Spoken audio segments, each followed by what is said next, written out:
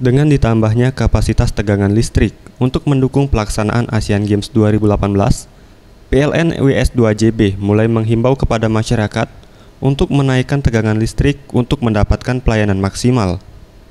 Menurut Yusuf Hudiharto, manajer niaga PLN WS2JB, sampai dengan akhir bulan Juli 2017, pihaknya memberikan potongan harga 50% bagi masyarakat yang ingin menaikkan tegangan beban listrik rumah dan diskon sebesar 100% untuk tempat ibadah.